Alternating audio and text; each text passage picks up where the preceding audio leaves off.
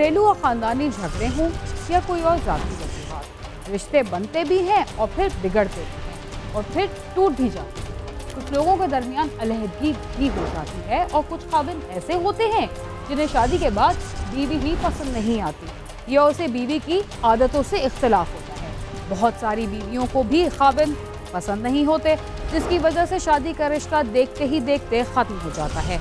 मामला कुछ भी हो, अगर करीबी अफराद और माँ बाप तहमुल से काम लें और सोच समझ कर कदम उठाएँ तो मियाँ बीवी के दरमियान होने वाले झगड़े ख़त्म भी हो सकते हैं। लेकिन दोनों धड़े, जिद और हटगर्मी का मुजाहरा करें तो मसाइल कम होने के बजाय मजीद बढ़ जाते हैं।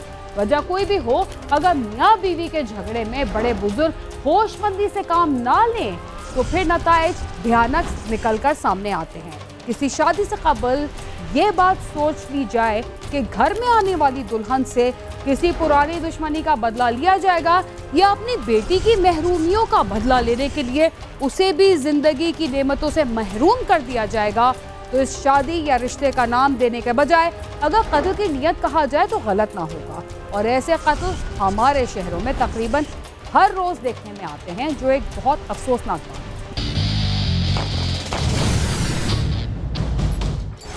हमारे मुआरे में वच्चे सट्टे की बुनियाद पर अक्सर रिश्ते किए जाते हैं।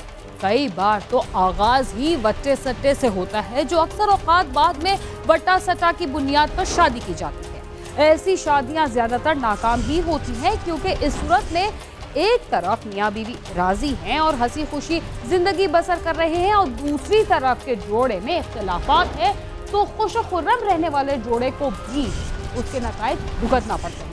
लाहौर में वटका सच्चा की बुनियाद पर होने वाली शादी सिर्फ़ एक माह के बाद ही इंतहाई बुरे अंजाम तक पहुँच गई। आइए जानते हैं कि ऐसा क्या हुआ।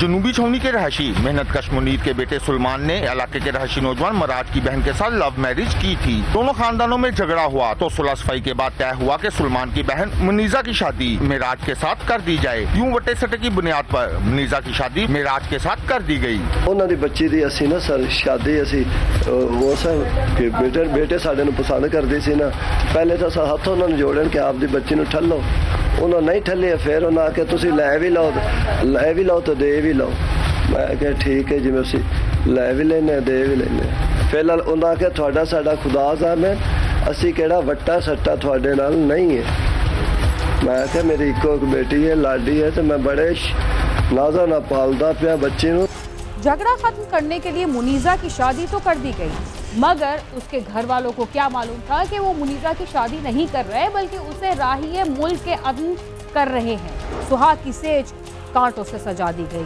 आइए जानते हैं कि शादी के फौरी बाद मुनीजा के साथ क्या हुआ। मुनीजा के वर्षा के मुताबिक वली में वाले दिन जब मुनीजा घर आई तो उसका चेहरा बुझा हुआ था। पूछने पर उसने बताया कि उसके साथ ससुराल में कोई अच्छा सलूक नहीं हुआ। ताहम वर्षा ने समझा बुझा कर उसे हालात से समझौता करने को कहा। इकतीस तारीख को शादी हुई है। ਤੇ ਦੂਸਰੇ ਦਿਨ ਹੀ, ਪਹਿਲੇ ਦਿਨ ਹੀ ਮੇਰੀ ਬੇਟੀ ਆਈ ਨਾ ਉੱਥੇ ਸ਼ਾਦੀ, ਬਰਾਤ ਦੇ ਦੂਸਰੇ ਦਿਨ ਸ਼ਾਦੀ। ਤੇ ਉਸ ਰੋਣਾ ਸ਼ੁਰੂ ਕਰ ਦਿੱਤਾ। ਬੈਠਣ ਨਾ ਦੋਲਣੇ ਦੋਵੇਂ ਬਣ ਕੇ ਇਕੱਠੀਆਂ। ਤੇ ਬੇਟੀ ਮੇਰੀ ਰੋਈ ਬੜ, ਬਹੁਤ ਜ਼ਿਆਦਾ। ਮਸੇ ਚੁੱਪ ਕਰਾਇਆ।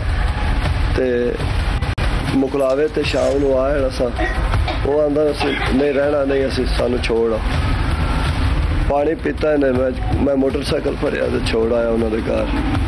ਉਹਦਾ ਮੁਕਲਾਵਾ ਰਾਤ ਨਹੀਂ ਅਸੀਂ ਰਹਿਣਾ। ਮੈਂ ਕਿਹਾ, ਠੀਕ ਹੈ ਜੀ, ਨਹੀਂ ਰਹਿਣਾ। ਮੈਂ ਛੋੜ ਆਇਆ। ਉਸ ਪਹਿਲੇ ਦਿਨ ਹੀ ਮੇਰੀ ਬੇਟੀ ਨੂੰ ਦੂਸ- ਦੂਸਰੇ ਦਿਨ ਵੀ ਮਾਰਿਆ।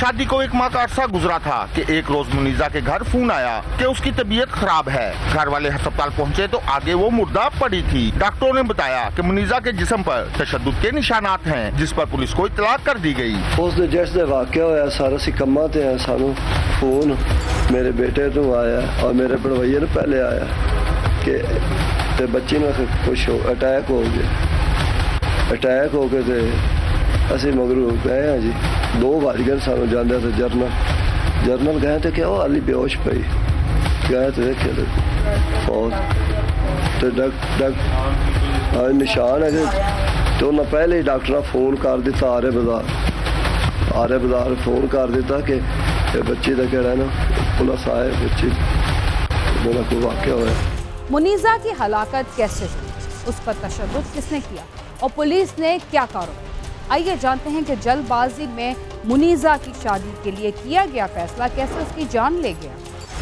पुलिस ने मुनीजा के बाप की रिपोर्ट पर मकतूला के शोहर देवर सास और ससुर के खिलाफ मुकदमा दर्ज करके शोहर मेराज और सास ससुर को गिरफ़्तार कर लिया जबकि देवर अभी मफरूर है जिसकी गिरफ्तारी के लिए छापे मारे जा रहे हैं। मेरी बहुत मेहनत में बड़ा गरीब आदमी मेरी एक दी है मेरे दे दी। ਮੈਨੂੰ ਸਾਫ਼ ਚਾਹੀਦਾ ਅਹ ਮੈਨੂੰ ਇਨਸਾਫ ਚਾਹੀਦਾ ਮੈਨੂੰ ਕੁਝ ਵੀ ਨਹੀਂ ਚਾਹੀਦਾ ਕਿਵੇਂ ਉਹਨੂੰ ਲਟਕਾਇਆ ਗਿਆ ਨਾ ਉਹ ਕਿਸ ਤਰ੍ਹਾਂ ਲਟਕਾਇਆ ਗਿਆ ਕਸੂਰ ਵਾਲੇ ਬੰਦੇ ਨੂੰ ਇਸ ਤਰ੍ਹਾਂ ਸ਼ਰੇਆਮ ਲਟਕਾਓ मकतूला के घर वालों का कहना है कि जालमों ने उसे एक बार भी सुक्का सांस नहीं लेने दिया शादी से अगले रोज ही उस पर तशद शुरू कर दिया था एक महीना और सात दिन हो गए शादी को उसकी सास जुलम करती गई उसको मारती पीटती रही मेरे मियाँ हम उसको हाथ जोड़ते रहे कि हमारी बच्ची को ऐसा जुलम ना करें। कहते, हम कुछ भी नहीं करेंगे। इधर हम हमारी बच्ची को मार पीट के छोड़ गई। ऐसे फिर मिनता तरलों पर छोड़े। मेरी बेटी कहती, मैंने अपना घर बसाना है। पापा, मेरी बेटी ने कहा, घर बसाना हमने छोड़े, खुद नहीं आए थे। हम अपने बेटे के साथ छोड़े घर उधर। फिर उन्होंने बहुत जुलम मेरी बेटी को मार दिया, उन्होंने जुलम बहुत मेरे पास ना मेरी भतीजी मुझे मिलने आई कहती ना, चाची, मुझे ना बहुत ज़्यादा मारते। मुझे, मुझसे काम भी बहुत ज़्यादा लेते हैं, ऐसे पीछे से टांगे मारते हैं। खाना आगे रख के उठा लेते हैं। तो मुझे बहुत ज़्यादा मारते सब मारते कहते, बदला लेना। चाची, मैं फिर भी अपना घर बनाने के लिए सब कुछ सह रही हूँ। मैं सब कुछ कर रही हूँ। इनके, सिर्फ़ अपने घर के लिए और माँ बाप की खातर। ये कह ना मेरी बेटी हमें ठुकरा रही। मकतूला के वर्षा ने अरबाब इख्तियार से मुतालबा किया है कि मुलजमान को जल्द अज जल्द इबरतनाक इंजाम तक पहुँचाया जाए, ताकि आइंदा किसी को ऐसा करने की ज़रूरत ना हो और ना ही किसी की बेटी ऐसी मौत मरे। कैमरा मैन लियाकत बशीर के साथ आमिर शहजाद, समा, लाहौर।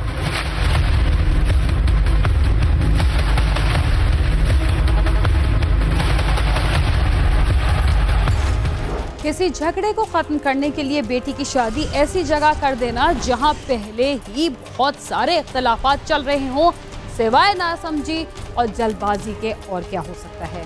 ऐसे बहुत सारे वाकयात में मुतासरा लड़की या लड़के से ज़्यादा उनके वालदेन का कसूर होता है, जो हालात को समझते हुए भी ऐसे फैसले करते हैं जिनसे उनकी औलाद की ज़िंदगी जहन्नुम बन जाती है।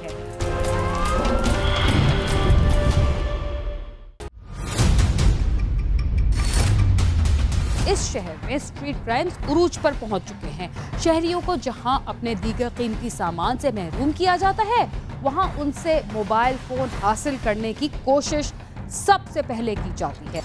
मोबाइल स्नैचिंग है, वो हमारा अभी तक भी उसी तरह पैरेलल चल रहा है बट हमें यकीन है कि जब ये मंशियात फरोश कम होते जाएँगे या इनको हम पकड़ लेंगे, एक और डायलेमा बड़ा है कि हम जिस भी स्ट्रीट क्रिमिनल को पकड़ते हैं, वो पंद्रह पंद्रह दफ़ा जेल जा चुका होता है।